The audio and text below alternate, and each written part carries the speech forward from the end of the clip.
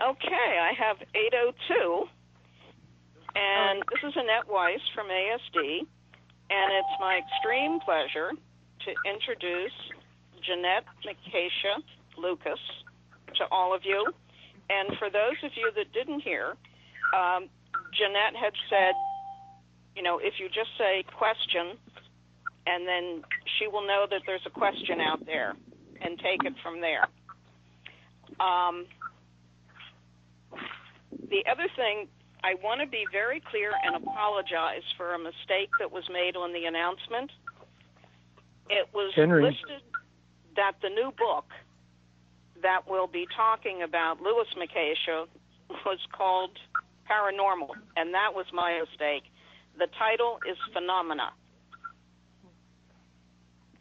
So if everyone hmm. makes sure it's Annie Jacobsen's book, and it's titled Phenomena. Sounds more like Louis. Ditto. Yeah, it does. I hear you. Okay.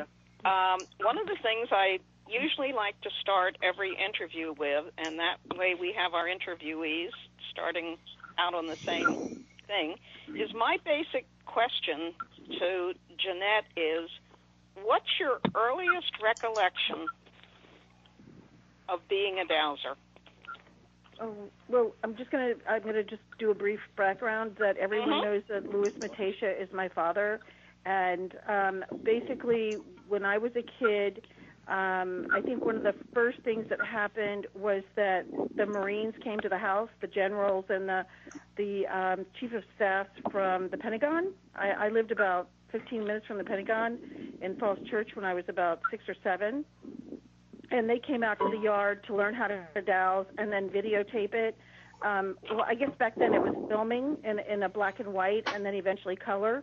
And when they were in the backyard, they couldn't figure out how to use the L rods because Lewis was showing them the L rods to pinpoint where water was underground and then practice digging holes and putting um, items in the earth like a booby trap or a bomb or something like that. And he labeled it. And the Marines were very confused. So I was one of five kids and he had my I was watching from the window and he was having my brother come out I think my brother was my maybe 5th grade come out and show the L rods and you know from the standpoint of that was my brother's first transaction with with dowsing.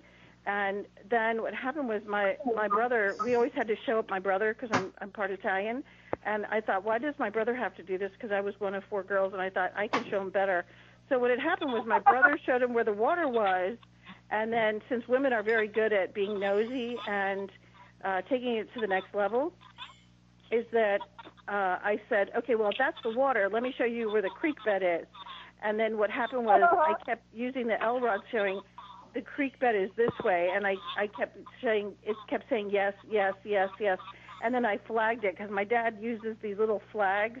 And then I said, the creek, the major creek is down here. And then once the visual happened with the Marines, they started doing it and understanding. I do think at times the brain cannot accept things like the L rods without visualization.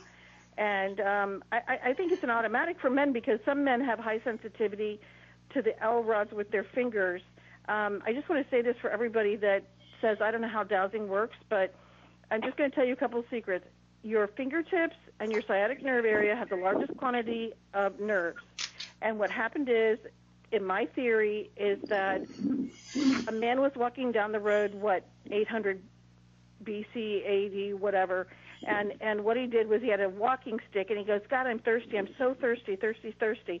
Similar situation to what I experienced when I was a kid, and so I was in the 60s. I was what uh, six, seven years old.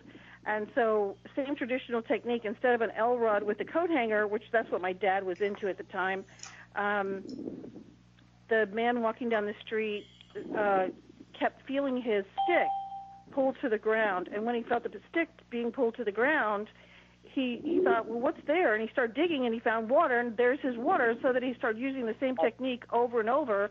And I I think that we have developed it so much more into finding anything else, mysteries, gold, treasure, whatever. And so when I was a kid, my brother used it for the little the water in the yard, and I went to the extra extreme and went and found the creek bed and then the bigger creek. So I just want to tell people, uh, as Robert Robert knows too, that you just don't have to go for the water itself. You can go for the creek bed. You can enlarge in the creek bed. There are lots of things you can do, and that was my first circumstance. But I just want to tell people from the historical standpoint, um, it's critical to know my first experience and then the man's experience, his first experience with finding water. Going, oh my gosh, my rod is magnetically being pulled to the ground, and that's what happened to me as a kid. And I hope that helps everyone understand a little bit. Okay, thank you. And just a reminder for people who came on, please press star six to mute your background noise. Then, when you do want to speak, press the star six again. We have a lot of people on the line. Yes, I, I just tuned in. I'm Robin from Michigan, and thank you. Okay, hi, Robin. Hi, Robin. Hi. And who's this? Um, I'm Sylvia from New York. Oh, great, Sylvia. Hi. Um, now, and then what else would you like to know? And then we'll, what we'll do is we'll take questions on how I find missing objects, or um, you know, getting written about about finding things. Um, because I did take it to the next level after Lewis. You know, you can learn the basic dowsing, which is the what the conferences provide, and then you can go to your specific teacher for gardening and that kind of thing, depending on your passion. Okay. Uh, does anyone have a question for Ginette? Ginette, I have a question for you. Are you recording? Yes, I tried to. I'll try it again. Yes, Ginette, I have a question. So, Mhm. I'm not familiar with Louis Matacia. you're not. Okay. Okay. Well, it's Valid question. Yeah, uh, it's basically um, in in America. Um, I'll, I'll just tell you there are a few dowsers that sort of founded or helped um, grow dowsing. Um, it was already birthed in the beginning in, in Vermont, and then my father took it, took it to the next level. Um, he was in the survey business, you know, like a surveyor for land plotting and that kind of thing. And he he found that instead of just finding water wells, let's use the same technique to find booby traps and bombs. So he sent film footage out to the military, and then he got really great responses from the CIA, the U.S. military, and um, different uh, agencies that said, well, if you can find bombs and that kind of thing, can you find tunnels? And so it expanded up, uh, up- upon there. Um, Annie Jacobsen just wrote a book recently. It's coming out around March 30th, and she's disclosing um, highly classified documentation that is starting to come out about who worked for the CIA, the feds, and the military to locate different things, whether it's a criminal, booby traps and bombs, and that kind of thing. And my father was the only dowser put in the book.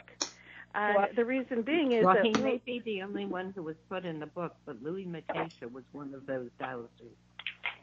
Wow. Yeah, That no, that's, that's, yeah, that's who we're talking about. there. We're talking about That's Lewis. what we're talking about, Diane. Oh, I'm sorry. I thought it was somebody else Mhm. talking. Yeah, no, Louis is my dad. Louis, you can call him Louis, Louis, that's fine. I mean, people call him Louise, whatever. But yeah, the good news is there. I hear there's another man out in California that said he did it similar time frame. That I don't know, and I've I've never heard of, um, because a lot of the material is classified and it's filmed and so forth. Um, I mean, he was just at the right place at the right time, and one of his buddies worked for the CIA. So while everybody else was out there taking their kids to Disney um, movie theaters and that kind of thing, my father brought home um, classified movies, and our Friday nights was watching what the federal government was doing, like UFOs and paranormal activities with Russia and that kind of thing. And um, I mean, we, you know, we were very fortunate to see stuff, but it was pretty scary. I'm not, I'm not gonna, I'm not gonna lie about that. Okay, so does Okay, that help and then you Lewis went on to be a trustee of ASD for quite a while. And I first got to know the name because this was the man who introduced um, dowsing for children at conventions. Right. Well, yeah, Sarah was- Martin Camaria. Right. I'm sorry. What does it say? I can't was hear you. told to announce myself. I'm sorry. Oh, that's okay. Who, who, who is joining us now? Sarah Martin Camaria. Oh, hi. Great. Um, yeah, and Louis, uh, if everybody knows doesn't know Lewis Matacia, my father, that's okay. There are books out there. You can Google his name. The last name is Matacia, M A T A C I A. Again, it's Louis, L O U I S. sometimes it's Louis, but very rarely uh, on Google. Um, it's L O U I S, and the, the last name is Matacia, M A T A C I A. And um, there are lots of Matacias from Italy, um, but he's the one from uh, Northern Virginia who wrote a bunch of books on dowsing and the paranormal, treasure hunting, that kind of umbrella. Um, the rest were doctors or psychiatrists or even a cook in Italy, so there are a few of us out there. Okay, and Ginette, if I have a anybody forgets for all you. this or needs further information, feel free to call headquarters. Right, yeah. Go ahead. Tomorrow. I'm sorry, you had a question? Yes. How is your father? Not well. Not well. Um, he um, once he went into dementia land, he had a massive heart attack, and um, once he went into that, he was saying some really scary stuff. He said he was a I had the pleasure of having him and Carl Uh-huh. Bracey for breakfast a few years back. uh-huh. And what a southern gentleman he is. he, he is. Yeah, he's down here in Richmond with me, but he one minute he would be fine, and then the next minute he tells the nurses he's an assassin. And you you know you would this is stuff that he never says. He just doesn't talk like that since you since you met him for breakfast or lunch. That's the real Lewis. Yeah. And and that's why I don't share him too much because he can say some pretty scary stuff right now. And he can tell you some pretty scary stories of when he was in the Philippines, like people's heads chopped off. I mean, he just says stuff that's just a little too far out there. It's not his fault. It's it's No, his brain on. all. Yeah, and he, his brain just shrunk again last week.